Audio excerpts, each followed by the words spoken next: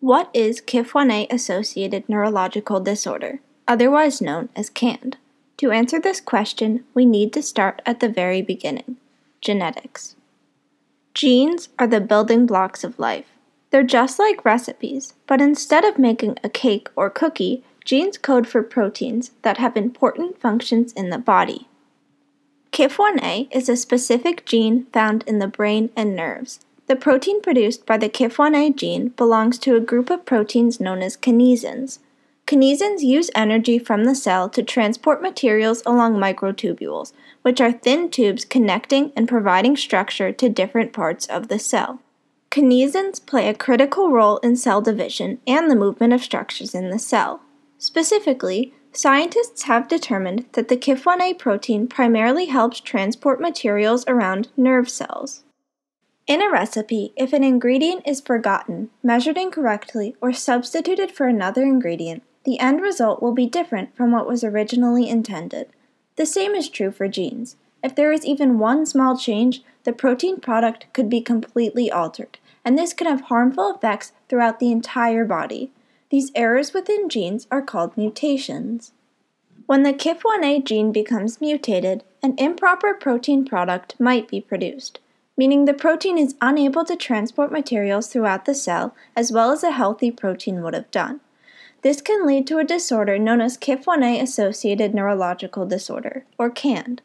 Not all KAND patients have the same KIF1A mutation. In fact, many different KIF1A mutations have been recorded that can lead to KAND. How did these mutations arise?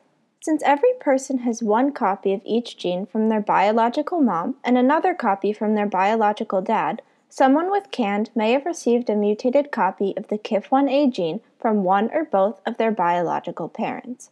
It is also possible that the mutation occurred spontaneously during the formation of the egg or sperm.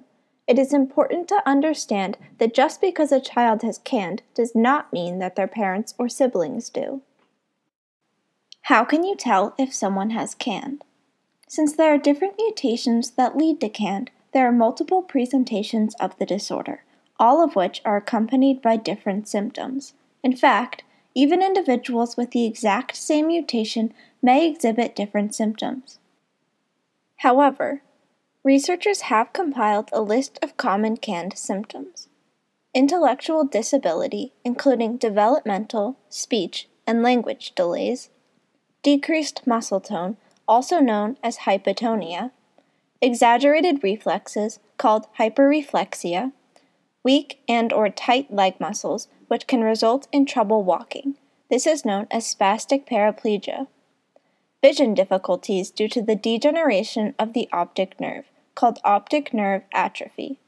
Epilepsy, which is characterized by seizures, difficulty balancing and coordinating movements as a result of the deterioration of nerve cells in the brain, also known as cerebellar atrophy, damaged peripheral nerves leading to numbness, burning, or tingling sensations in the hands and feet, called peripheral neuropathy, ataxia, which results in coordination difficulties, and autism.